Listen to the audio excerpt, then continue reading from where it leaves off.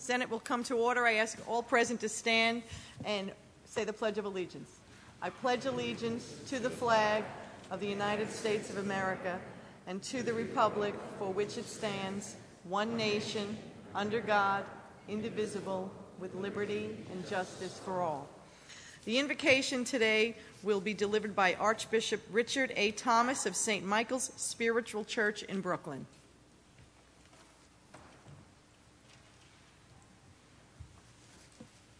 Righteous Father and our God, we thank Thee for life. We thank Thee for the ability to look over men and women of this nation. We thank Thee for Senator Parker. We thank You for Senator Golden. May they continue to be directed to do the best they can. When they have done the best for the Master and His people, may we grow to love them, not false love, but a real love which will move them to the top. In no other name and in Jesus' conquering name we pray. Amen and amen, Amen. and amen.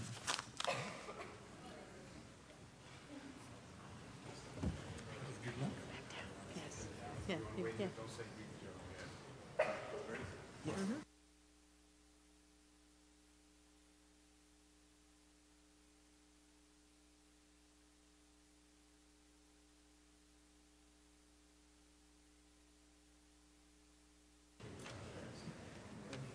Reading of the journal. In Senate, Friday, March 1st, the Senate met pursuant to adjournment. The Journal of Thursday, February 28th was read and approved. A motion, Senate adjourned. The journal stands approved as read.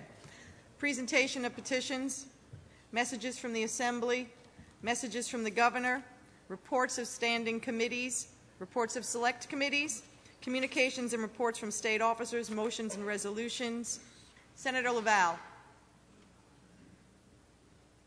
Senator Gianaris, for purpose of making a motion.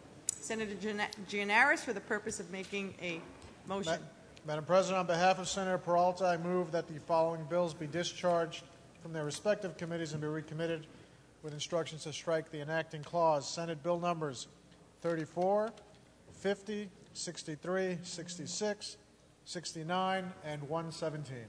So ordered. Senator LaValle. Before I um, uh, make an announcement, I uh, would like the record to show that seated in my seat with a full head of hair is my neighbor, Jordan Suarez from Port Jefferson. Uh, there will be an immediate meeting of the Finance Committee in room 332 of the Capitol. There will be an immediate meeting of the Senate Finance Committee in room 332 of the Capitol. The Senate will stand at ease.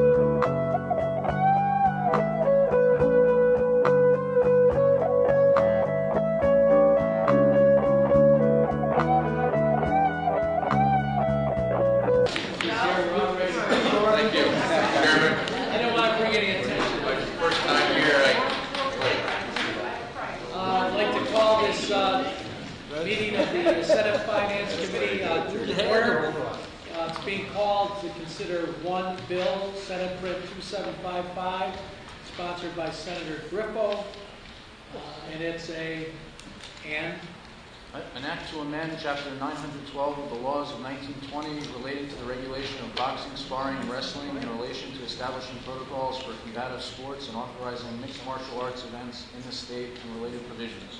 and if passed, if if Cup goes through this committee, it will be uh, by order of special report, which means it will be live on Wednesday of this week. Uh, Are there any questions? Are there any comments? Uh, Senator Krueger. I am urging a no vote on this bill. I think there are any number of good reasons we should not allow legalization of something known as cage fighting in New York State, and I look forward to a full-fledged debate on the floor in the Senate on Wednesday. Thank you. Anyone else? Uh, It's moved by Senator uh, Robach, second by Senator Gianaris, very bipartisan committee. All those in favor? Aye. Opposed? Nay. Everybody will have their voting sheets. Uh, So those who are voting no, could you raise your hand, we can at least identify you for the record. Did you vote no, Senator Breslin, Senator uh, uh, Val, Senator Lanza, Senator Monson, Senator Perkins, Senator Krueger, anyone else? I don't want my wife to think she's my law firm kick my... I Breslin. Not without that. And uh, Senator Savino is without that once again. It shows the bipartisan nature of this committee. The bill is reported by order of special... All my buddies vote no. Both sides?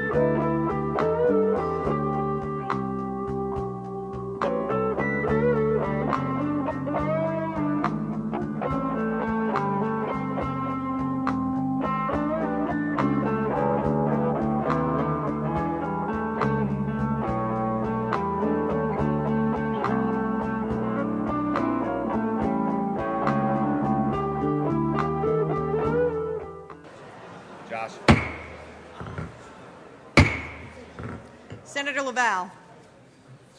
Report of the Finance Committee at the desk. Secretary will read. Senator DeFrancisco from the Committee on Finance reports the following bill to special report. Senate 2755 by Senator Griffo, an act to amend Chapter 912 of the laws of 1920. All in favor of, of accepting the report of the Finance Committee signify by saying aye. Opposed, nay. The report is accepted. Senator LaValle. There is a previously adopted resolution by Senator Carlucci, uh, Resolution 453 at the desk. I ask that it be read in its entirety. Secretary will read.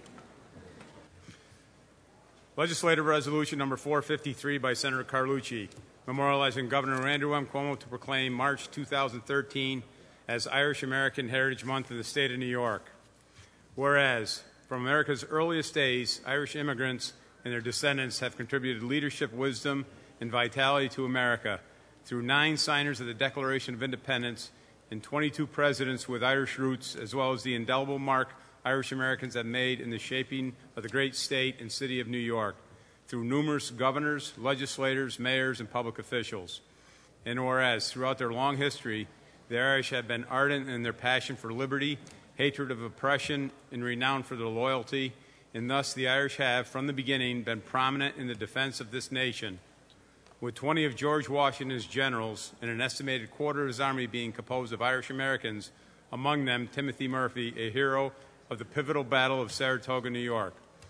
And whereas Irish Americans have distinguished themselves ever since whenever their country has called on them, as typified in the storied Fighting 69th of New York, who fought with courage and sacrifice on the battlefields of the American Civil War, World War I, and whose Gaelic battle cry of Fa'a Balak is still heard this day in Iraq and Afghanistan in defense of our country. And whereas the first Congre- Congressional Medal of Honor for the current conflict in Afghanistan was awarded to Navy SEAL Lieutenant Michael P. Murphy of Smithtown, New York, who made the supreme sacrifice of his country. And whereas millions of Irish arrived in New York City in the mid 19th century, escaping hunger and injustice in their homeland, and where New York has long been a haven for immigrants, being the home of the Golden Door of Ellis Island, where the first immigrant to enter through its passages to a new life in America was 15 year old Annie Moore of Cork, Ireland. And whereas Irish immigrants and their descendants have contributed to the building of this great society, not only by laying of railroads and the building of physical bridges, but also by building bridges of the mind amongst all people through the founding of numerous schools, colleges, and universities, enhancing the quality of every phase of life for all New Yorkers. And whereas Irish American women have long have a long and proud tradition of being visionaries and trailblazers, whether it be Annie Sullivan, the teacher of Helen Keller, crusading journalist Nellie Bly of New York's own Colleen Eileen Collins, Colonel Eileen Collins, the first woman to command a space shuttle. And whereas since 1762, Irish New Yorkers have been faithfully celebrating the Feast of St. Patrick's every March 17th, wherein they renew their connections to the land of their ancestry, pass on their traditions to the next genera- generation, and share their pride through joyous festivities enjoyed by all New Yorkers, irrespective of ethnicity.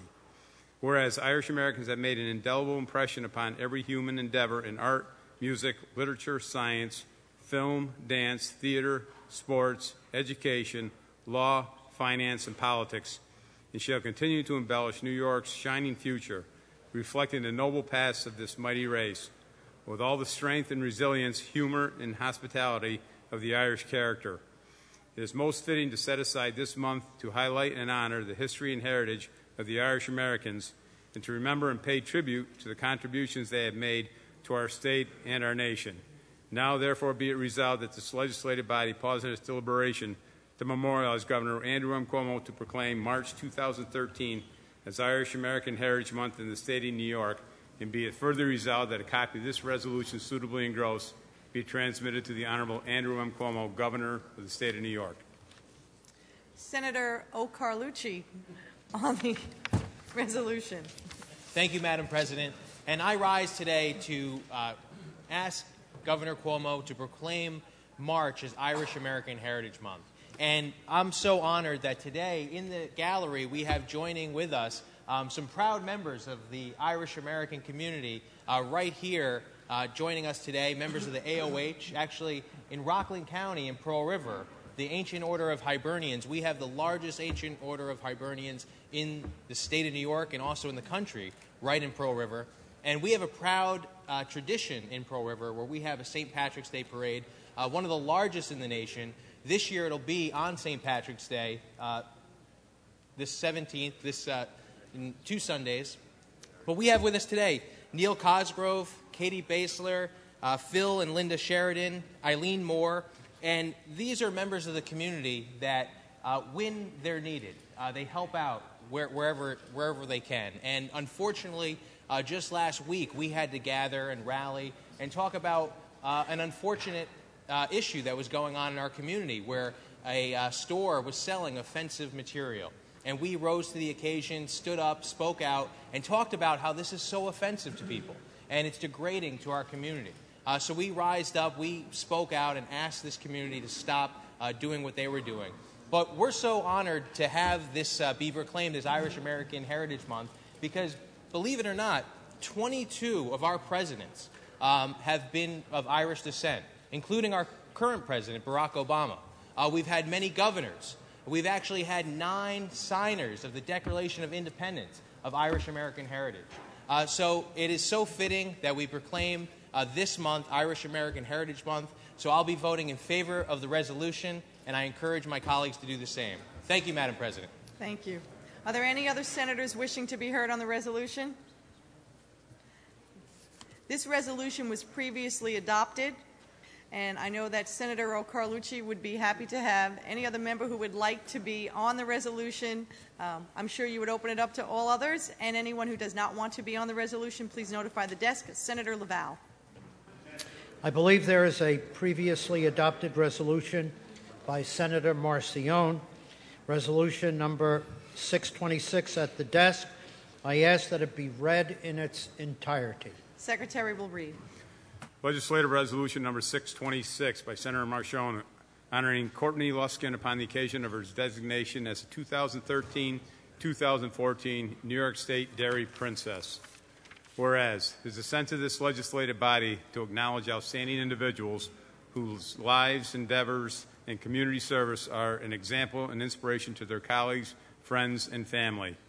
And whereas individuals who give of their time and energies and serve the best interests of their communities are an asset beyond remuner- remun- remuneration and cannot be su- sufficiently extolled. And whereas it is also the intent of this legislative body to recognize and pay tribute to those individuals whose civic endeavors have enhanced the quality of their community in the great state of New York. And whereas to such concern, in full accord with its long-standing traditions, it is the sense of this legislative body to honor Courtney Luskin upon the occasion of her designation as 2013-2014 New York State Dairy Princess. And whereas on Tuesday, February 19, 2013, Courtney Luskin of Hoosick Valley High School was crowned the 2013-2014 New York State Dairy Princess at the Holiday Inn in Liverpool, New York.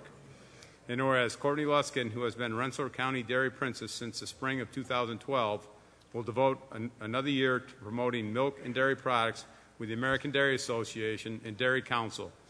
And whereas, as State Princess, Courtney Luskin will receive a scholarship and represent the organization at County Dairy Princess pageants, farm meetings, and special events.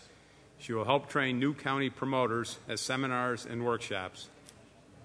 And whereas 19 county dairy princesses competed in the state pageant, which included a personal interview, an impromptu and prepared speech, a product knowledge test, a writing skills test, an informal interaction with others.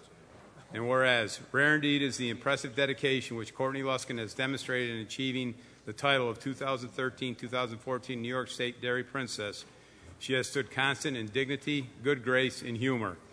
And whereas it is a sense of this legislative body that when an individual of such noble aims and accomplishments is brought to our attention, she should be recognized by all citizens of this great empire state. Now, therefore, be it resolved that this legislative body pause in its deliberations to honor Courtney Luskin upon the occasion of her designation as a 2013-2014 New York State Dairy Princess, and be it further resolved that a copy of this resolution suitably engrossed be transmitted to Courtney Luskin. Senator Marchione. Thank you, Madam President, to my colleagues. I rise for the purpose of recognizing and honoring Courtney Luskin, a constituent of mine who is the Rensselaer County Dairy Princess and was recently crowned the 2013 2014 New York State Dairy Princess. Miss Luskins, who joins us today with her mother Jane up in the Senate gallery, is the 18 year old daughter of Jane and John Luskin of Rensselaer County.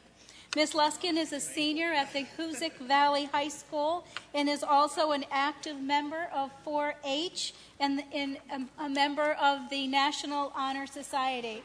On February 19th, Ms. Luskin was crowned the 50th New York State Dairy Princess at the annual coronation in Syracuse.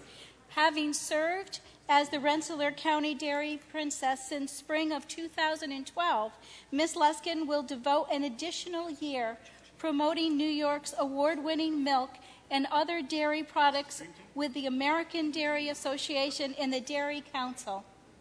As State Princess, Ms. Luskin will receive a scholarship and represents the Dairy Association and Dairy Council at County Dairy Princess pageants, farm meetings, and a variety of special events. Ms. Luskin also will help train new county promoters at seminars and workshops. 19 county dairy princesses uh, competed in the prestigious state pageant, which included a personal interview, impromptu and prepared speeches, a, a product knowledge test, a writing skills test, and an informal interaction with others. In being named the 2013 14 New York State Dairy Princess, Ms. Luskins has continually demonstrated intelligence, dignity, good grace, and humor. Agriculture in New York's number one industry and the backbone of our state's economy, and for good reason.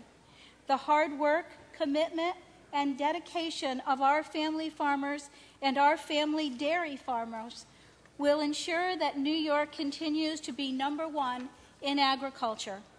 Madam President and my colleagues, I respectfully request that this body pause in its deliberations to honor Ms. Courtney Luskin, the 2013 2014 New York State Dairy Princess. Thank you. Thank you, Senator.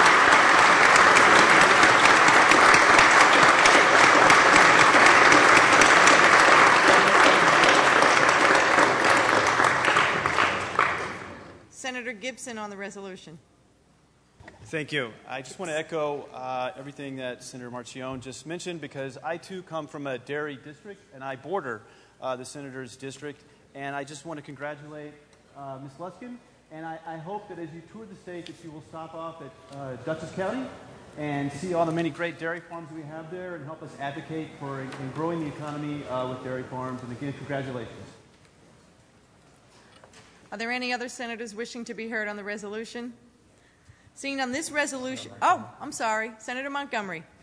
Yes, Madam President, I just would like to congratulate uh, Senator Marchione on this and recognizing someone, a young person, who is uh, symbolic of one of the major uh, industries in our state, uh, dairy farming, and the dairy queen there. And I just want to say I hope that we always remember uh, that uh, we should be very conscious of uh, the celebrations that we do on the floor here and, and elsewhere, and the statements that we make about how much we respect young people, um, because uh, one of the groups that I, I feel so strong about, I'm so pleased, pleased about, is the Future Farmers of America.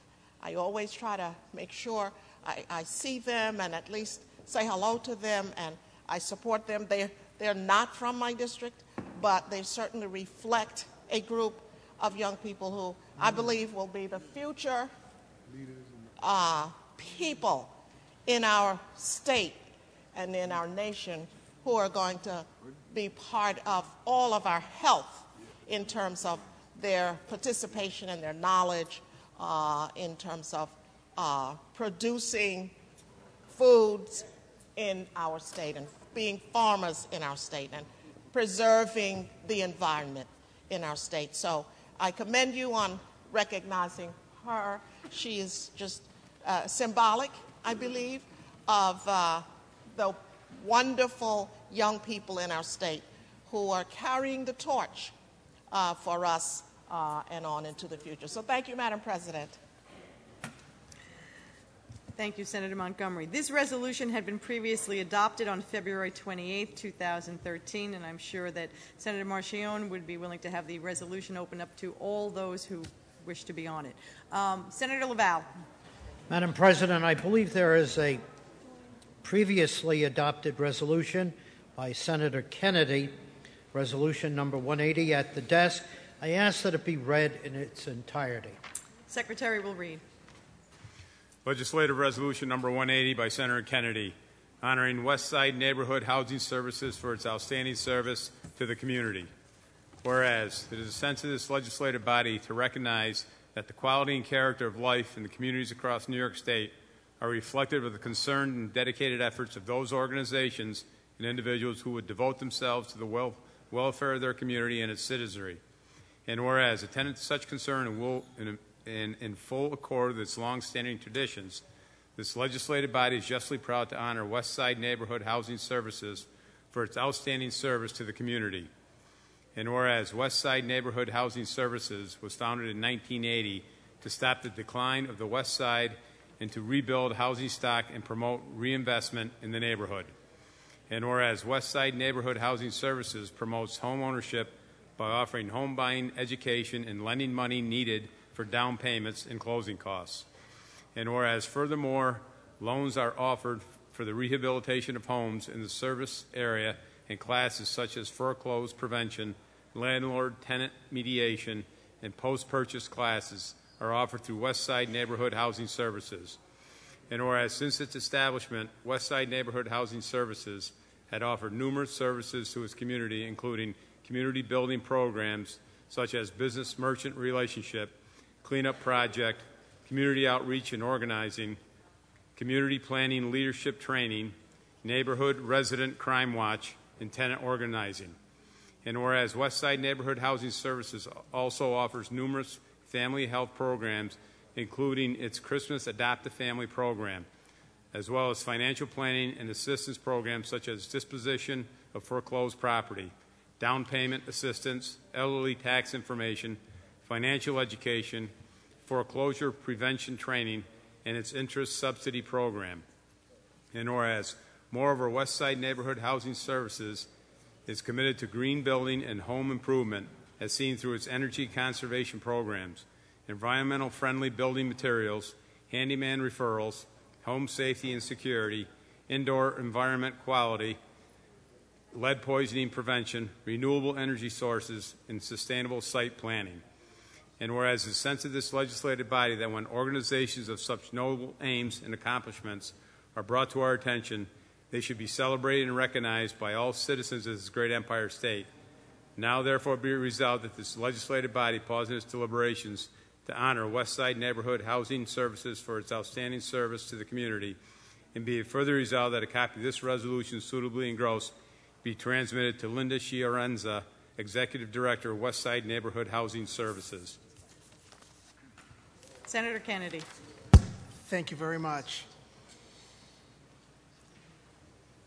Concerned, dedicated, and devoted. Those are words that embody the West Side Neighborhood Housing Services. This organization was formed in 1980 with a specific focus on the west side of Buffalo to rebuild the housing stock in the community, provide reinvestment in the neighborhood. In short, the organization works every single day to make dreams of home ownership, the American dream, come true. And as the housing market slowly recovers, the need for the critical services they provide has never been greater. The programs this important agency offers carry customers through the entire process of buying and owning a home and ensure they are fully prepared for the many responsibilities that come with owning the home. These programs are revitalizing Buffalo's neighborhoods, providing safe, affordable, and sustainable housing opportunities for all. I wish to offer my thanks to Linda Fiorenza, who's here with us today. Linda, if you could stand up. as well as Laura Sweat. They're both with the West Side Neighborhood Housing Services.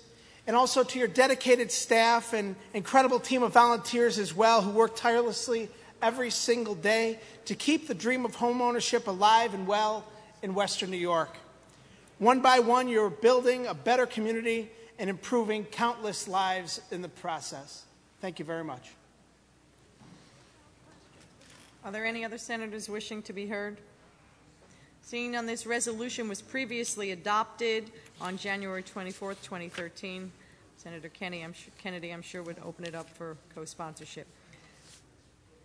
Senator LaValle. Madam President, may we please have the non-controversial reading of the calendar? Secretary will proceed with the reading of the non-controversial calendar. Calendar number 11 by Senator Dilan, Senate Print 397, an act to amend the vehicle and traffic law. Read the last section. Section 2 of this act to take effect on the 30th Call- day. Call the roll. Adams, E. Francisco, Libous, Klein, Skelos, Stewart-Cousins, Zeldin. Announce the result. Ayes 58, nays 1. Senator LaValle recorded in the negative. Bill is passed. Calendar number 50 by Senator Ranzenhofer, Senate Print 2118, an act to amend the public health law. Read the last section. Section 15, this act should take effect on the 180th day. Call the roll. Adam C. Francisco, Libous, Klein, Skelos, Stewart-Cousins, Zeldin. Announce the result. Ayes 59. Bill is passed.